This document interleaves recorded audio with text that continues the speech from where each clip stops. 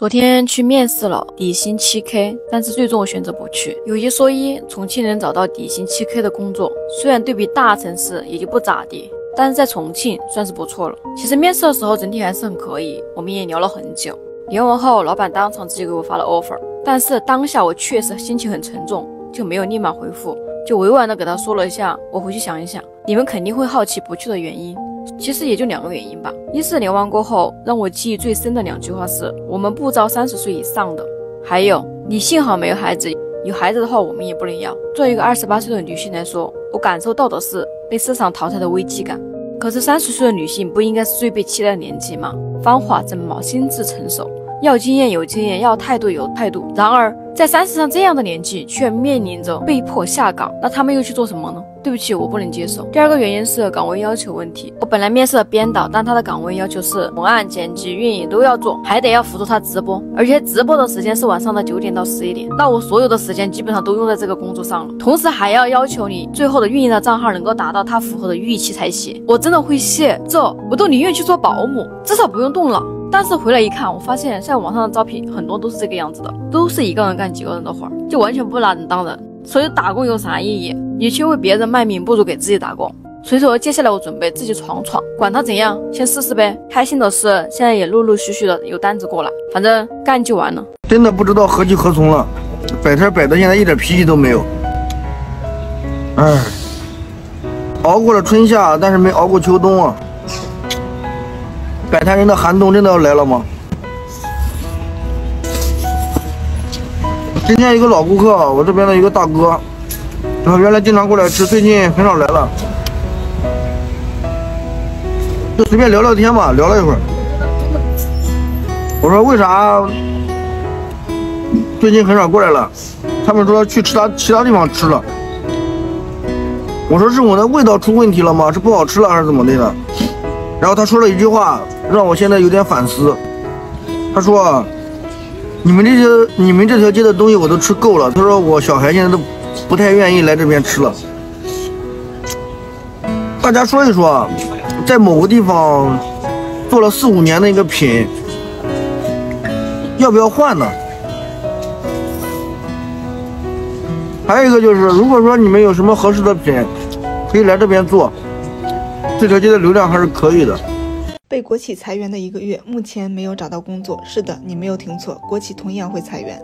在一个月之前，作为国企员工的老公被裁员了。我曾经也和大家一样的想法，以为国企不可能裁员，除非劳务派遣。所以在九年前进入国企工作的时候，很开心，以为终于找到一份长久稳定的工作，不用担心失业，不用担心再找工作的痛苦了。但没想到，本以为可以干到退休的工作，结果和大家一样裁员了。从入职到失业九年的时间，九年说长不长？说短不短，心中也有很多不舍。这是付出青春的地方，从校园到成家立业的地方，是奋斗过的地方。人生本来就是一场冒险，向着更好的地方出发。老公现在每天除了找工作，就是帮忙做一些家务，这样我也轻松了不少。平时都是我自己趁宝宝睡觉，赶紧做家务、洗衣服，醒了继续带娃，每天像小陀螺一样不停地转。其实每个人都不容易，我有我带娃的辛苦，老公有他工作上的辛苦，单枪匹马挣钱养家。有苦有累自己扛，他吃的苦我未必能吃得了。他这么努力上进，拼的不过是想给我孩子一个更好的生活。所以男人都不容易，我们应该体谅自己的老公，相互包容理解吧。撤还是不撤？这不是问题。继富士康之后，又一个制造业巨头要撤离中国的消息啊，又来了。说作为全球顶尖代工厂之一，驻扎上海的为苹果代工的昌硕科技啊，传言将会全面的撤出中国市场，将会进军印度。这消息呢，是引发了大家对于生产线上近十万名劳动者未来去向的一种担忧。而与此同时，包括印度和越南在内，也都是积极的表态，将会积极的迎接各种产业转移，宣称中国作为全球制造中心的这个地位将会不保了。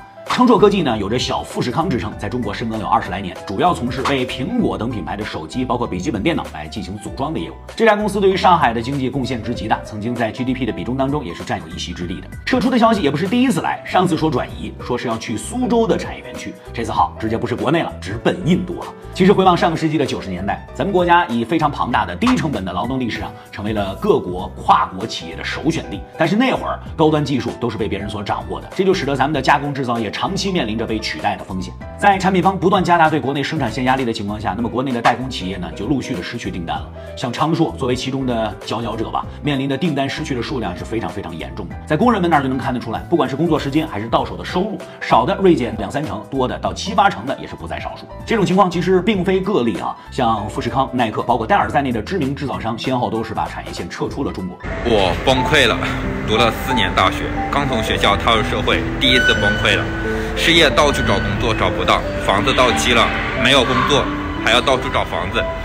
在这一直不顺利的情况下，我又突然感冒发烧，约的面试也只能推掉，去不了了。刚进入社会时，我觉得自己三天不到就找到了合适的工作，然后又很快找到了合适的房子，离工作的地方特别近，一切都很顺利，自己一个人就轻松搞定了工作房子。进入社会也没有很难嘛，但是现实很很快给我当头一棒。公司工作时间是六点半下班，但是每天会加强制加班到八点。第一个月的时候感觉没什么，才八点，然后我自己搬到了公司附近，回去到家大概十分钟就到了，可以接受。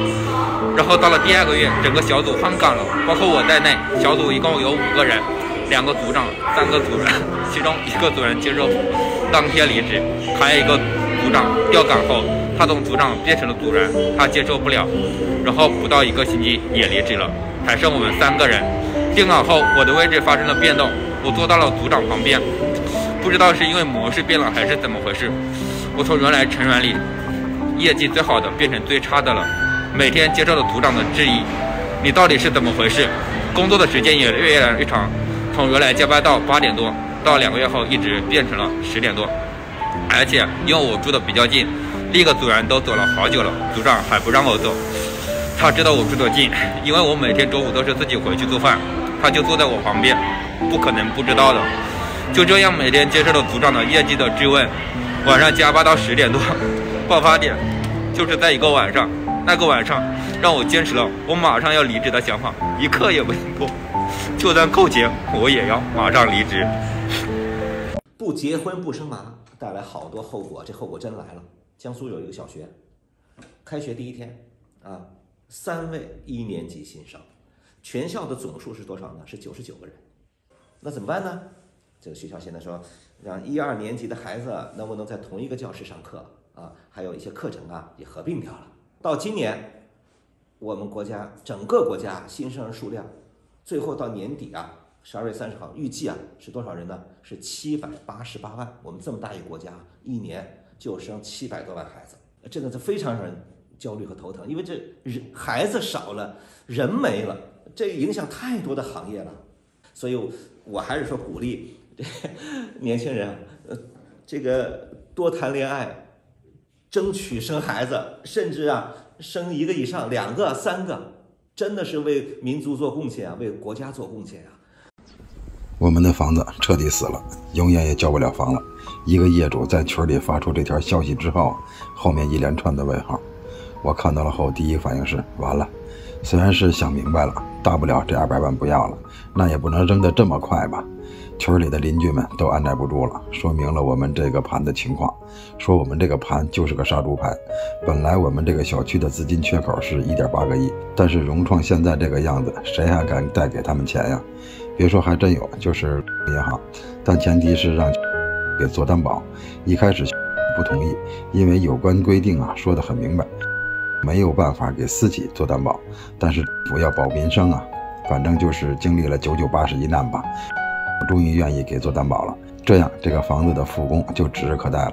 没想到银行节外生枝，说你只担保这一点八亿可不行，把融创欠我们的十二个亿都得给担保了，我们才会把钱借给他们。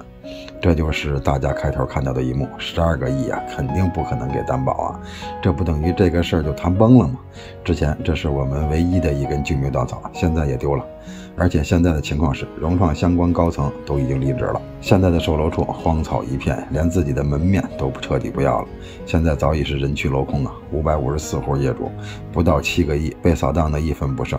他们连这块地都抵押出去了，从某银行那抵押走了十二个亿，留下的只有流离失所的老百姓。家人们，你们说像我们这种情况下可咋办呀？有了解的吗？希望有过经历的家人们给支支招。谢谢各位了。收到通知降薪百分之三十，年底没有奖金。我三十八岁了，本科有工程师证、建造师证，稳稳当当工作了十几年。公司现在没有项目可做，不用打卡。换句话说，我现在没有事情可做。